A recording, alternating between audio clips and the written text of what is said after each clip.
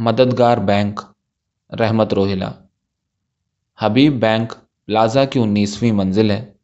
اس منزل کے ایک کمرے میں خوبصورت، خوش لباس، خوش گفتار شخص کرسی پر بیٹھا، اپنے روز مرہ کے دفتری کام نمٹانے میں مصروف ہے۔ یہ بینکار ہے۔ یہ اگر بینکار نہ ہوتا تو عید ہی ہوتا۔ کہ جملہ اور صاف عیدیانہ میں خود کفیل ہے کہ یہ آدمی لوگوں کو روک روک کر ان کی طلب پوچھتا ہے۔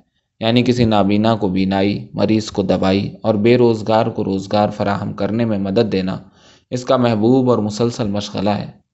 حضرت کے اجداد سینٹرل ایشیا سے آئے یا ایران سے۔ بہرحال آ گئے۔ میرے علم کے مطابق اس آنے جانے میں ان صاحب کا کوئی قصور نہیں۔ میں تعارف کے پہلے دروازے تک آپ کو لے آیا ہوں۔ آگے آپ بوجھیے اور جانیے کہ یہ شخص کون ہو سکتا ہے۔ ہاں یہاں آپ کو میں ایک اہم اشارہ دیے دیتا ہوں کہ موصوف خوش بخت کے نصف بہتر اور بہت پیارے بچوں کے باپ ہیں۔ شجاعت علی بیگ کو اللہ نے خوبصورت اور وجی انسان پیدا کیا، پر اس کے اندر ایک معصوم اور خلیق روح کو اتار دیا کہ وہ اس کے بندوں کی خدمت کرتی رہے اور اپنا بینک ثواب سے بھرتی رہے۔ موصوف لڑکپن سے حقوق و لباد کے اچھے کھلاڑی ہیں۔ اب عمر کے اس حصے میں ایک یادگار اننگ کھیلنے کے دربے ہیں۔ دیکھیے کہاں تک کامیاب ہوتے ہیں۔